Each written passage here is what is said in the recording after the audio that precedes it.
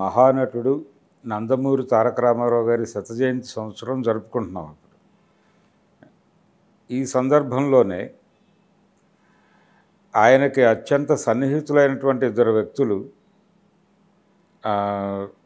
వెళ్ళిపోవటం అనేది ఈ వారం ఎన్టీ రామారావు అభిమానులు జీర్ణించుకోలేనటువంటి విషాదం. కైకాల సత్యనారాయణ గారి అంత్యక్రియలు ముగిసిన మర్నాడే చలపతిరావు వెళ్ళిపోవటం అనేది నిజంగా విషాదం. చలపాయి అని చాలా ప్రేమగా పిలుచుకునేవాడు ఆయన రామారావు గారు.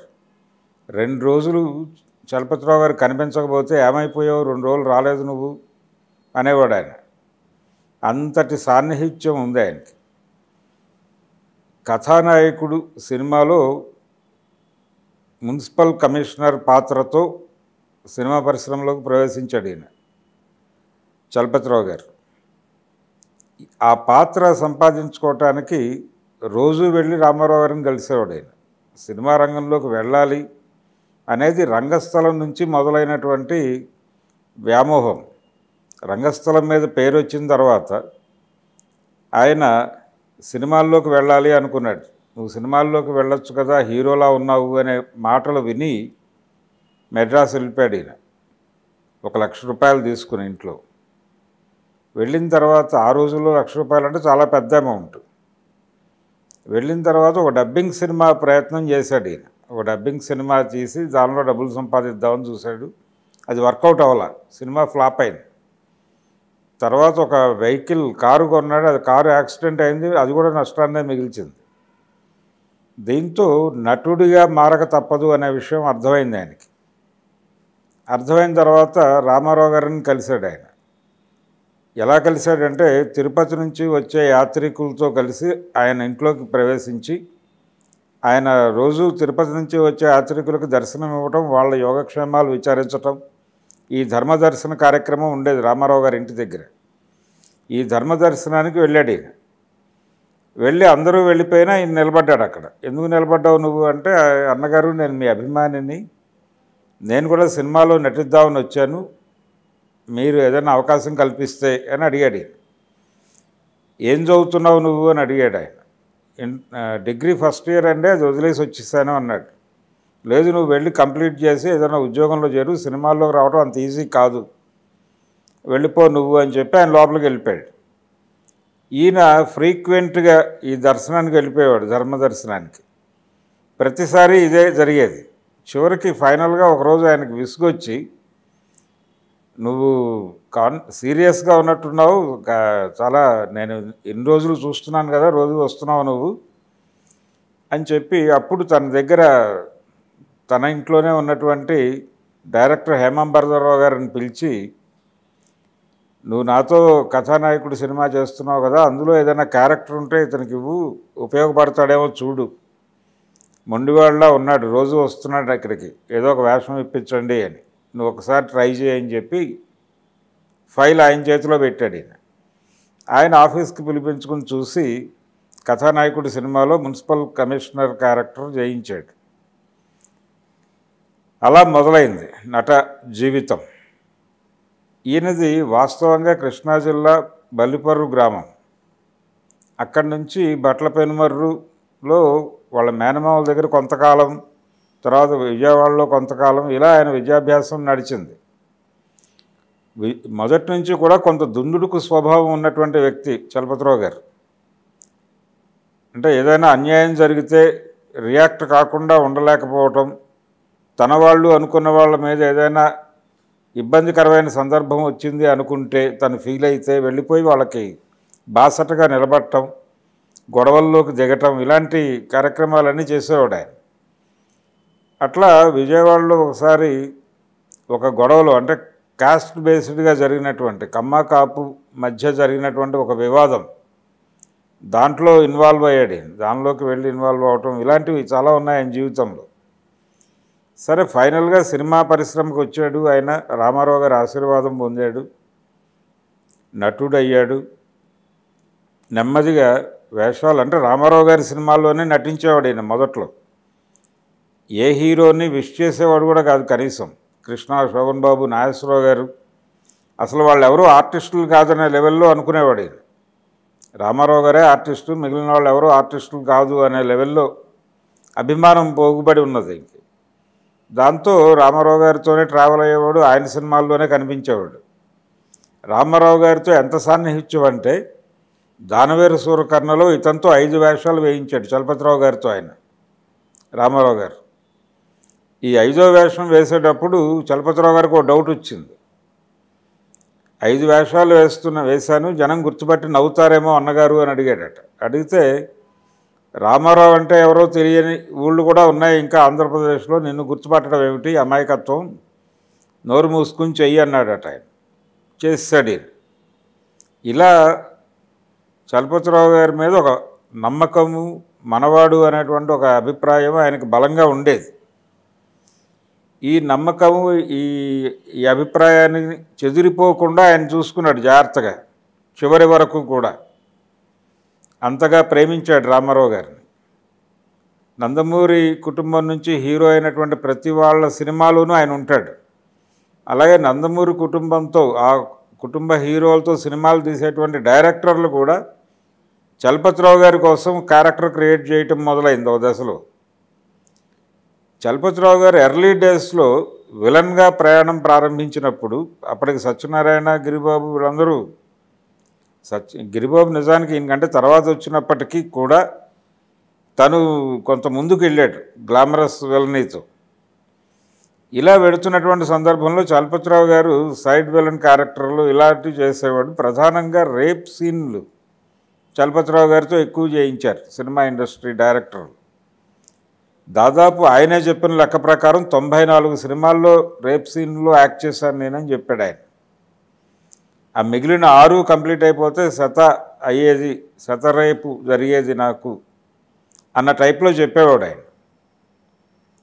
ఇలాంటి అంటే చాలా జోవియల్గా సరదాగా ఉండేవాడు ఆయన. ఎవరిని హర్ట్ చేయటం లేకపోతే ఇబ్బంది పెట్టడం ఇలాంటివి లేవు. ఆయనే చెప్పుకున్నట్టుగా ఆయన ఈ రేప్ సన్నివేశాలు నటించేటప్పుడు ఆడవాళ్ళు చాలా భయపడేవారట ఆయన్ని చూసి. బయట ఎక్కడైనా కనిపిస్తాయి. కానీ వ్యక్తిగతంగా ఆయన జీవితంలో ఒక విషాదం ఉంది. ఆయన ఇరవై ఎనిమిదో ఏట ఆయన భార్య అగ్ని ప్రమాదంలో ఇంట్లోనే చనిపోయింది ఆవిడ. చనిపోయిన తర్వాత ఈయన వేరే పెళ్ళి చేసుకోలేదు. ముగ్గురు పిల్లలు. ఇద్దరు ఆడపిల్లలు ఒక మగపిల్లాడు. వాళ్ళని పెంచడమే ధ్యేయంగా ఆయన వేరే పెళ్ళి చేసుకుంటే మళ్ళీ ఇబ్బంది అవుతుంది అనే ఉద్దేశంతో తన తల్లిని తెచ్చి ఇక్కడ పెట్టుకుని ఆ పిల్లల్ని పెంచుకుంటూ జీవితాన్ని కొనసాగించాడు ఆయన. మళ్ళీ తిరిగి పెళ్ళి చేసుకోలేదు. వాళ్ళ అబ్బాయి ఎదిగిన తర్వాత ప్రపోజ్ చేసినప్పటికీ కాదన్నాడు ఆయన. ఇది చలపతిరావు గారి బయట క్యారెక్టర్. కానీ సినిమాల్లో ఆయన రేపిస్ట్. రేపులో చలపతిరావు అని పిలిపించుకున్నాడు ఒక దశలో ఆయన. దాన్ని కూడా ఆయన సరదాగా జోవియల్గా ఒక మాట చెప్పేవాడు. నేను నేను రేప్ చేసిన ప్రతి హీరోయిన్ అగ్రెసివ్ హీరోయిన్ అయింది. బంగారు చెల్లెలు ఇలాంటి సినిమాల్లో చాలా సినిమాల్లో ఆయన రేప్ సన్నివేశాల్లో నటించటము ఆ తర్వాత వాళ్ళ అగ్రశ్రేణి హీరోలుగా హీరోయిన్లుగా మారటం ఇలా జరిగింది అని చెప్పి చెప్పేవాడు ఆయన. ఇలా ఆయన కెరీర్ నడుస్తూ ఉండగా ఆయన్ని బాబాయి కింద మార్చింది. ఇప్పుడు ఇండస్ట్రీలో ఎవరిని కదిలించినా కానీ చలపతిరావు బాబాయ్ అనే అంటారు. ఈ బాబాయ్ ఇమేజ్ రావడానికి కారణం రామ్ గోపాల్ వర్మ కృష్ణవంశీ వాళ్ళిద్దరూ. అనగనగా ఒకరోజు సినిమాలో ఒక చాలా పద్ధతిగా ఉండేటువంటి ఒక క్యారెక్టర్.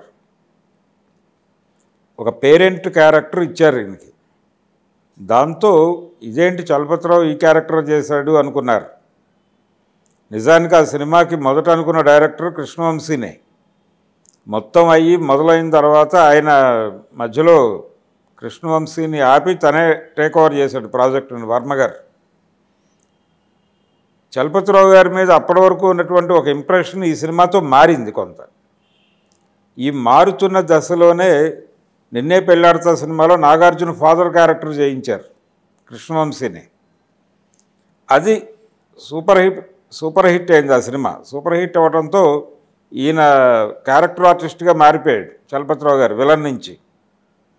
ఎప్పుడైతే విలన్ నుంచి మారిపోయాడో ఆయన విలన్గా ఉన్న రోజుల్లో ఆయన దగ్గరికి ఎవరు వచ్చి ఆటోగ్రాఫ్లు తీసుకునేవాళ్ళు కాదు. ఆయన వస్తుంటే పక్కగా చెప్పుకునేవాళ్ళు ఆడవాళ్ళు ఎందుకైనా మంచిదని చెప్పి తలుపులు వేసుకున్న సందర్భాలు కూడా ఉన్నాయని ఆయనే చెప్పేవాడు. కానీ ఈ అనగనగా ఒకరోజు నిన్నే పెళ్ళాడతా తర్వాత ఎవరన్నా కనిపిస్తే దగ్గరికి వచ్చి మాట్లాడటం అలాగే ఆటోగ్రాఫ్లు తీసుకోవటం ఫోటోలు దిగటం ఇలాంటి కార్యక్రమాలు జరిగేవట. ఫ్యాన్ మెయిల్ కూడా లేదట ఆయనకి అప్పటి వరకు. ఎప్పుడైతే ఈ బాబాయిగా టర్న్ అయ్యాడో ఆయన క్యారెక్టర్ రోల్స్లోకి టర్న్ అయ్యాడో నెమ్మదిగా ఫ్యాన్ మెయిల్ మొదలైంది. ఇట్లా ఆయన నట జీవితం ఒక మలుపు తీసుకుంది రామ్ గోపాల్ వర్మ కృష్ణవంశీ చేతుల మీదుగా. ఆ తర్వాత అనేక ఎన్టీఆర్ ఆది సినిమాలో క్యారెక్టర్ ఇవన్నీ కూడా విపరీతంగా పేరు తీసుకొచ్చాయి ఆయనకి. క్రమంగా బాబాయిగా మారిపోయాడు ఆయన ఇండస్ట్రీ బాబాయిగా మారిపోయాడు ఆయన వయసు పెరుగుతున్నటువంటి క్రమం.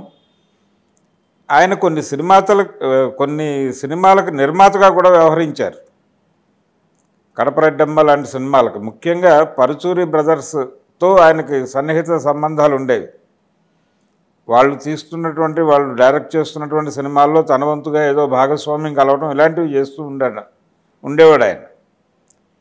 తద్వారా నిర్మాతగా కూడా అభిరుచి గల నిర్మాత అనిపించుకున్నాడు ఆయన. సినిమా పరిశ్రమకు వచ్చిన తొలి రోజుల్లోనే ఆయన ఒక డబ్బింగ్ సినిమా తీసి చేతులు కాల్చుకున్న చరిత్ర మనకు తెలుసు. ఇలా ఆయన ప్రయాణం నట ప్రయాణం సినిమాలతో నిర్మాతగా ఆయన ప్రయాణం ఇలా నడుస్తోంది. దేవి వరప్రసాద్ గారి ఆఫీస్లో రెగ్యులర్గా కూర్చునేవాడు. అక్కడ చిరంజీవి గారికి బాగా పరిచయం అయిన మెడ్రాస్లో. ఇలా మొత్తం అందరు ఆర్టిస్టులతో మొదట్లో ఆయన తొలి దశలో రామారావు గారితో తప్ప రామారావు గారికి తప్ప ఇంకెవరికి నమస్కారం పెట్టకూడదు. అసలు ఇంకెవరో ఆర్టిస్టులు కాదు అని ప్రవర్తించినటువంటి చలపతిరావే తర్వాత అక్కినేని నాగేశ్వరరావు గారు ఒకసారి నా స్టూడియోలో తీసే సినిమాలకు నీకు అవకాశం ఉంటుంది. అయితే నువ్వు యాటిట్యూడ్ మార్చుకోవాల్సి ఉంటుంది. అందరి హీరోల్ని సమంగా గౌరవించు అందరి హీరోలతో సమంగా మాట్లాడు. నీకు అవకాశాలు ఇవ్వాలనుకున్న వాళ్ళు కూడా నువ్వు ఆ క్యాంపు మనిషివి అని చెప్పి ఇవ్వకుండా తప్పించుకుంటున్నారు. కాబట్టి నువ్వు ధోరణి మార్చుకో అని చెప్పి చెప్పాడు నాగేశ్వరరావు గారు. చెప్పిన తర్వాత ఆయన మార్చుకున్నాడు. మార్చుకున్న తర్వాత ఆయన క్యారెక్టర్స్ రావడం మొదలైంది. బయట సినిమాల్లో కూడా నాగేశ్వరరావు గారి సినిమాల్లోనూ శోభన్ బాబు కృష్ణ సినిమాల్లో కూడా ఈయన క్యారెక్టర్లు వచ్చాయి. రెండోది రామారావు గారితో చేస్తున్నటువంటి అనుభవం ఉన్న డైరెక్టర్లు వాళ్ళు చేస్తున్నటువంటి సినిమాల్లో కూడా ఈయనకు అవకాశం కల్పించేవాళ్ళు. ఆ విధంగా దాదాపు పన్నెండు వందల సినిమాలు చేస్తాడు ఆయన రకరకాల పాత్రలు. ప్రధానంగా ఎక్కువ చేసినవి విలనే. కొద్ది శాతం మాత్రమే క్యారెక్టర్ రోల్స్ చేశాడు ఆయన చలపతిరావు గారు. ఇలా వాళ్ళ ఊరు నుంచి బయలుదేరినటువంటి ప్రయాణం అంటే బల్లిపర్రు నుంచి ప్రారంభమైనటువంటి ప్రయాణం ఇండస్ట్రీలో ప్రతి ఒక్కరి చేత బాబాయ్ అని పిలిపించుకునేటువంటి రేంజ్కి వెళ్ళింది. ఇది మామూలు ప్రయాణం కాదు. అంటే చాలామంది అనుకుంటారు సినిమాల్లోకి వెళ్ళిపోవటం పెద్ద కష్టమేం కాదు అనుకుంటారు కానీ చాలా కష్టం. వెళ్ళటం తేలికే కానీ నిలబడటం చాలా కష్టం. అలా నిలబడి పన్నెండు వందల సినిమాల పైన చేయటం అనేది మామూలు విషయం కాదు అసాధారణమే. ఇలా అసాధారణ విజయం సాధించినటువంటి చలపతిరావు గారి కుమారుడు కూడా డైరెక్టర్ అయ్యాడు సినిమాల్లో. నిజానికి తను చదువు మానేసి వచ్చాడు. అంతకుముందు వారి కుటుంబంలో డిగ్రీ దాకా వెళ్ళిన వాళ్ళు కూడా ఎవరు లేరు. ఈయన డిగ్రీలోకి వెళ్ళి కంప్లీట్ చేయకుండా వదిలేశాడు. అందుకని తన పిల్లల్ని బాగా చదివించాలి అనుకున్నాడు ఆయన. పెళ్ళి చేసుకోకుండా అలా సింగిల్గా ఉండడానికి కారణం అది. పిల్లల్ని బాగా చదివించాలి అనుకుని ఒక లక్ష్యం పెట్టుకున్నాడు ఆయన. నిజంగానే వాళ్ళ ముగ్గురితో పీజీ చేయించాడు. పీజీ చేయించాడు మంచి సంబంధాలు చూసి పెళ్ళిళ్ళు చేశాడు. ఇదంతా తండ్రిగా తను ఏం చేయాలో ఆ కమిట్మెంట్ నెరవేర్చాడు ఆయన. ఈ నెరవేర్చిన క్రమంలో ఆయన కుమారుడు సడన్గా ఈయనకు ఒక షాక్ ఇచ్చాడు. నేను సినిమా తీ తీయాలనుకుంటున్నానని రవిబాబు నువ్వు సినిమా తీయటం ఏమిటి? అన్నాడు ఈయన. లేదు సినిమా తీయాలి మీరు సహకరించాలి. అంటే నేను ఏ ప్రొడ్యూసర్ దగ్గరికి వెళ్ళి మా అబ్బాయి సినిమా ఒకటి ఉంది అది మీరు చేయించాలి అని చెప్పి అడగను. ఎంత అవుతుందో బడ్జెట్ వేసుకురా అన్నాడు ఆయన.